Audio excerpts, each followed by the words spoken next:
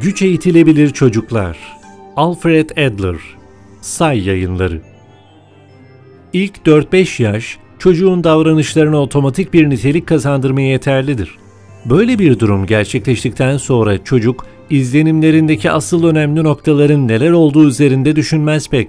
Şımartılmış çocuk okula gelip burada şımartılmanın söz konusu olmayacağını gördü de önceden bilmediği bir durum karşısında kaldı mı kendini rahatsız hissedecek ama şımartılma çevrenin ilgisini üzerine çekme amacından da vazgeçmeyecektir.